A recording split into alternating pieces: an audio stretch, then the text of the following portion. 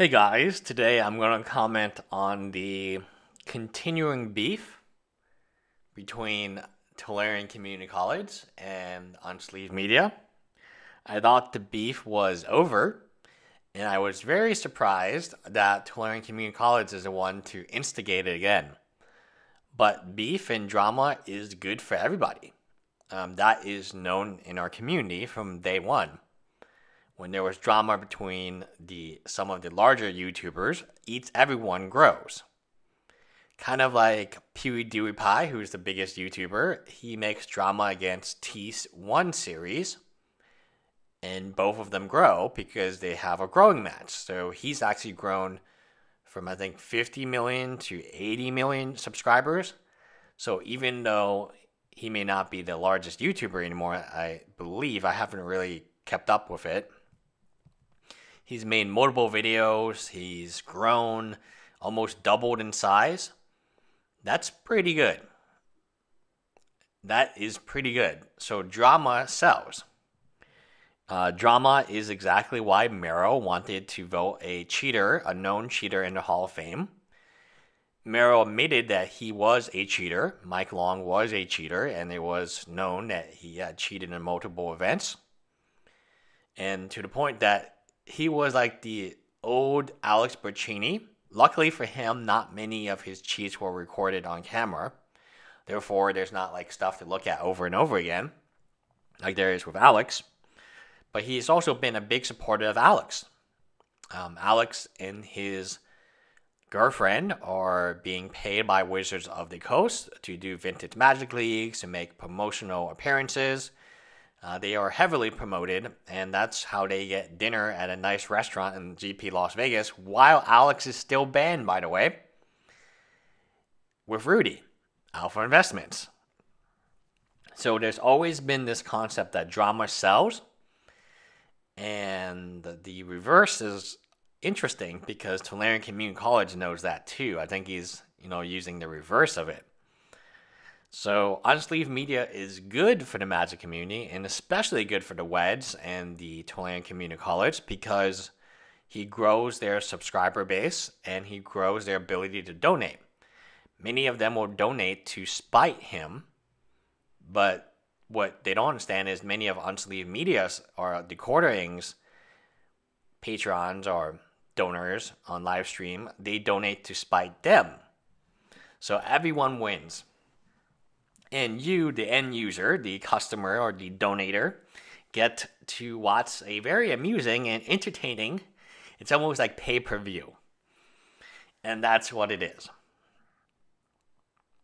And that's why the drama cycle will never end.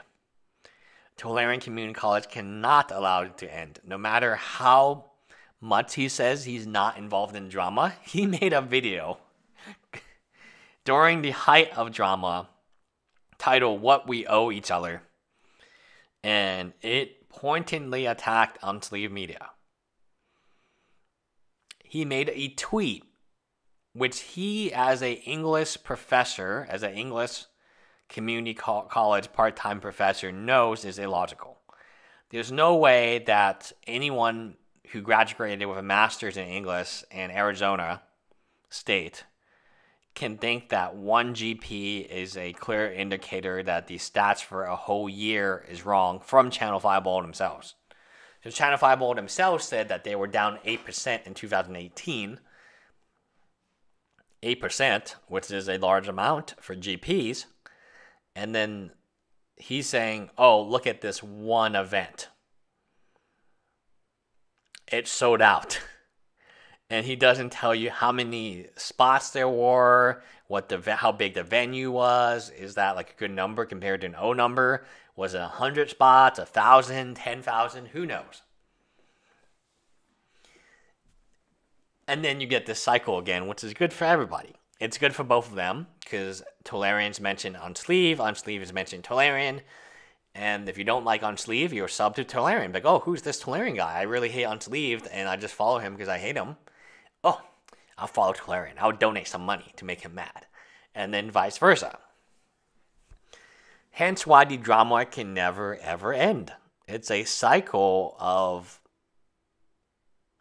I don't want to say like mutual benefit, but really it is a mutual benefit. It is a cobia. What what's it called when uh, two creatures have to live off each other? Um, they don't co-inhabit. That's something else. It's like a symbiotic symbiotic relationship. Both people prosper, and they have. And you see smaller dramas arise every so often between so and so, bad boy games Unsleeved Media. And, you know, it, it's quite fascinating when you take a look at it and you step back and you really take a look at all this stuff. And you see, like, oh, this drama, that drama, this drama, that drama, and look at how much uh, these subscribers have gained on both sides. So, this was a pretty low blow uh, from Tolarian. Uh, it was not necessary, in my opinion. And the way that it was said, so if he said it more vaguely, it could also mean Rudy, because Rudy said that GP attendance sucks and he's not going to attend GPs anymore. He said that many times. So, but the way that it was said was very childish um, from the way that it was cap locked. I mean, again, he's an English major and he's doing that to convey emotion, right? Emotion. There's no facts in that tweet. There's not this many people signed up versus this many people last year, or this many people at the most recent GP, or this was an increase of some amount. It was just that it was sold out. I would say selling out a GP is actually not a good sign because that means somewhere, logistically speaking, when you sell out a main event, you never want to turn down customers, and that's what you're doing. Magic is not in a good place now, even if the numbers tell you it's not. Because it is based solely 2018 was a year to reprint. We have Masters 25 to celebrate 25 years of Magic. We had Ultimate Box Toppers, Ultimate Masters, Mythic Edition, Planeswalkers Edition what was it? What do we also get like a different Masters? Do we get Iconic in that year, or we got something else? I'm trying to think. We got Battlebond recently. Oh, maybe Battlebond on unstable. Challenger decks. More Commander decks. Commander's Anthology. Planechase Anthology. Blank Blank Anthology. Anthology of Anthology. And my goodness, we're still getting these giant reprints. Uh, the Mythic Edition of Rav- uh, Ravnica Allegiance just came out. That is eight reprints, right? You're getting eight guaranteed Mythic Planeswalkers, which everyone can get who can spend $250 worth uh, tax. One of the things um, that I would say is you can't rely on that forever. That's a very good way to make a lot of money, but that's not a good way to make money from new customers. New customers are not going to be interested in Ultimate Masters for $300, $350 a box. They're not going to be interested in buying these Ultimate Masters box toppers, which can be searched. They're not going to be interested in a Commander anthology or Planechase anthology. I mean, these things are not in a price range they're not going to be interested in reprint Masters 25. There's no value. Iconic Masters. It just doesn't make sense. A new player with a limited budget just wants to draft or play limited or play or go to FNM and play, you know, a deck. So yeah, I don't see any products. You might see challenger products are for new players, but they rotate out immediately.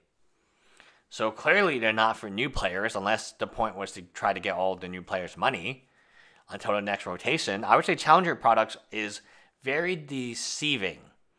It seems like they're helping new players, but really they're not.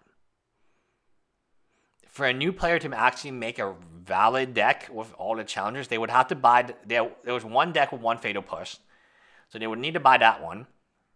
They need to buy four copies of that, so that's $120 already. They would need to buy four copies of the Hazoret deck with so four copies of that, and then all $120. And if they wanted to make Mardu vehicles, they would need to buy the vehicle deck, four copies of that. $360 for a mildly okay deck that will last you about two months. That has no modern playability. The cards are not going to survive modern. Chandra did not survive modern. Hazoret did not. Fatal Push did, but it took a massive beating after rotated standard. This is not a way to draw new players. Uh, new players are not going to be incredibly impressed by your masterpieces which until re- recently rotated out because they're never going to get masterpieces. They're not going to be impressed by your reserve list policy. And in fact, they're not going to be impressed by a physical card game. These new players are playing Minecraft, Fortnite, League of Legends. They are used to instantaneous gratification. They are used to team play they're used to socializing online. MTG Arena is the future of Magic. And I'm very bullish on that, but I am absolutely not bullish as a Magic the Gathering store owner. I'm considering dropping Magic entirely. I can tell you I've dropped Magic boxes because, like I said, if you can buy a Mythic Edition box from Hasbro right now, which you can because there you have ample supply for you guys, for $250, why would you ever buy a box from me? Why would you buy two boxes and a fat pack from me for 250 when I can't even guarantee you four planeswalkers, let alone eight full art, alternative art planeswalkers? You it. You never would. As long as Wizards of Coast sells the Mythic editions and they're available, no store should be able to sell a box unless that customer is an, idiot, right? Because if you look at the original Mythic Edition, which we can look at, they give you a hundred dollar box topper, and now you can sell it for seven hundred. For two fifty, you get eight hundred dollars of value. Tell me a local game store where I can pay two hundred and fifty dollars, and in two months or three months or in a new set, three months, I can get $800 of value from what I purchased for 250 90 days from now. The answer is nobody. Nobody. So, we have a eternal argument between is magic failing, is magic dying, dying, which Tolarian will say no, but which Unsleeve will say yes.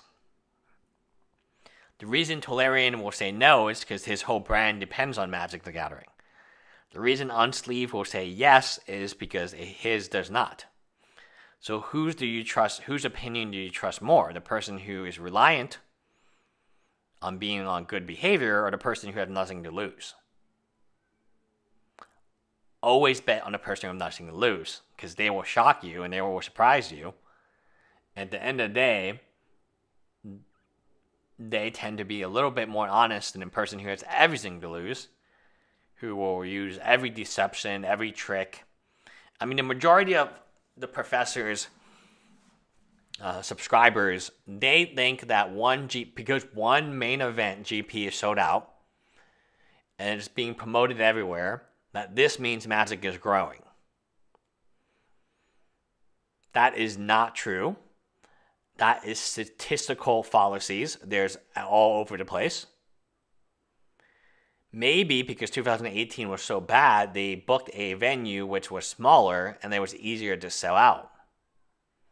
Maybe the venue was just smaller to begin with, and GP New Jersey is located in a smaller venue than other GPs. I don't know. But I can tell you, Channel Fireball said that in 2018, GP attendance was down 8% from the prior year. That's a number. That is a fact. You cannot say that one selling out one main event at a GP is an indicator that GPs are now more popular than they were before. Maybe there's just more people in New Jersey who want to play Magic. It obviously benefits the professor to say that Magic is growing. This gives his brand more growth. One of the more fascinating points that uh, has yet to be addressed between these two is how their political ideology does influence whether or not they like each other. And you have seen a great divide in our Magic community from the local game stores to it just comes down to money. As a business owner, great. You know, I, I feel, you know, I don't feel that proud that Wizard Coast is promoting this and X and Y and Z and they're helping do this character and this character is trans and that character is purple and this character is blue and this character is a hermaphrodite. You know, like great, great, great. But when I can't make money because Wizard of Coast is undercutting me with this Mythic Edition, I, as a business person, am going to be pissed. And if my GP attendance is down, my FNM attendance is down, then I'm going to be pissed because there comes a point where, you know, eight people, four people, where does it go down to? If they cut my prize support, they take away my FNM promo, I'm going to be upset if the promos for the showdown are being sold to people like unsealed media, unsealed uh, MTG, who gets them early, he actually had prize packs open on his channel before the pre-release. Let me repeat that again. He had these showdown packs open on his channel before the pre-release, and everyone and their mother gets product early now. Why is that the case? Because the stores just don't give two blanks. They don't care if they're caught or not the best thing for I was talking to my friend. The best thing for my friend's uh, retro game store was that he got caught that he didn't get a play space, and then WPN they took away the WPN, and he said that was the best thing that ever happened to him because then he, you know, there was no benefit to being in the WPN. So not only are you selling to against Sports and More, which is a distributor, you're selling against Wizard of Coast itself. And of course, Wizard of Coast is going to give yourself a better product. When's the last time the Wizard of Coast would give a store a Mythic Edition and the Wizard of Coast would sell a package of two booster boxes and a fat pack for 250 They're not going to do that because that would never sell. Anyway, bye guys.